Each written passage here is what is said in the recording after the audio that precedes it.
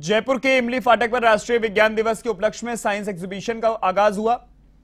माफ़ कीजिएगा, आयोजन किया गया, जिसमें स्कूली बच्चों की ओर से विज्ञान के अनेक मॉडल्स प्रदर्शित किए गए। इस दौरान दौसा की पूर्व जिला प्रमुख गीता खटाना मुख्य अतिथि रही। साइंस एग्जीबिशन में स्कूली बच्चों ने water harvesting, solar panel, robot और पवन चक्की सहित अन्य मॉडल प्रदर्शित किए। वहीं स्कूली छात्रा सौम्या के मॉडल को प्रथम स्थान मिला। वहीं गुंजन दूसरे, पीयूष और तनिष तीसरे स्थान पर रहे।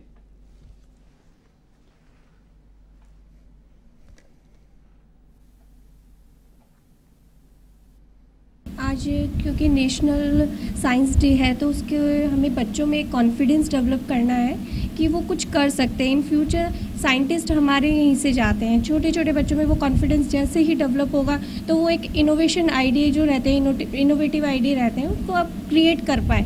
कि एक सिर्फ़ सोच को वो एक तस्वीर दे पाएँ या एक अपने रूप में कुछ बना पाएँ।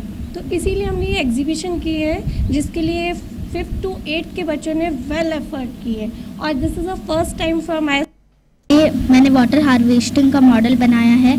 Today is a national science day और नेशनल साइंस डे पर मैंने वाटर हार्वेस्टिंग का मॉडल बनाया है।